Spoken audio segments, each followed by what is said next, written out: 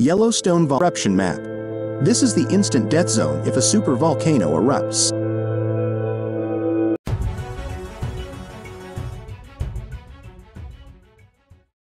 Yellowstone is known as a site located at the top of a dormant volcano, which experts believe is a supervolcano waiting to erupt.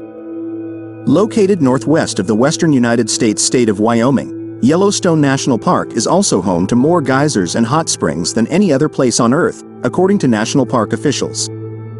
U.S. seismic authorities estimate the most recent volcanic activity in Yellowstone occurred about 70,000 years ago.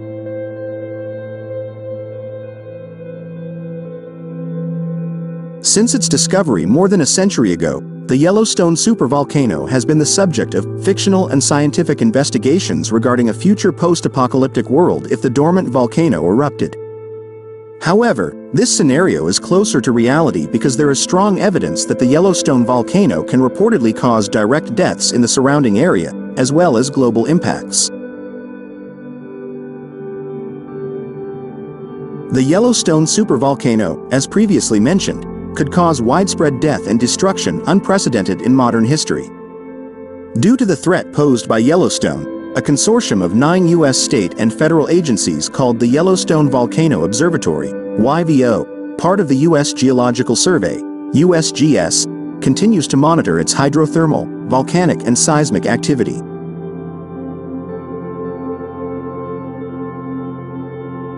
In a 2014 study published in the journal Geochemistry, Geophysics, Geosystems, USGS researchers provided a map of the Yellowstone volcanic eruption showing the potential areas and regions affected by supervolcano ash distribution in the event of a future Yellowstone supereruption. The map also includes an instant death zone, or kill zone, which is an area closer to the Yellowstone caldera.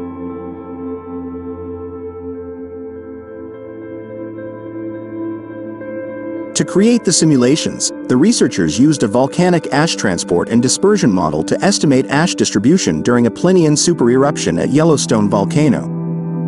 Based on research results, the eruption could spew ash thousands of miles across America, causing animals and plants to die, as well as destroying buildings and other infrastructure.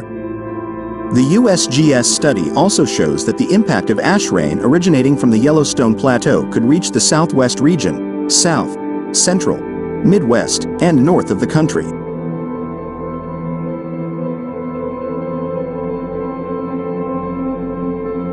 Available data indicates that the most recent 70,000-year-old volcanic activity from the Yellowstone supervolcano consists of rhyolitic lava flows, according to the USGS.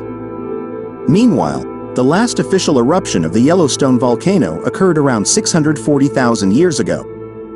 Outside of this timeline, Scientists also estimate that the Yellowstone volcano erupted 1.3 million and 2.1 million years ago. This means there is witnessed Yellowstone and the world's other supervolcanoes erupt.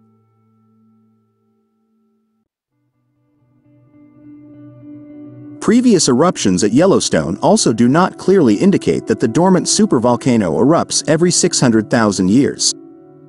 Described by many as a sleeping giant, Scientists estimate that the most likely activities at Yellowstone include volcanic earthquakes, lava flows, or hydrothermal explosions, and major volcanic eruptions are unlikely, according to YVO.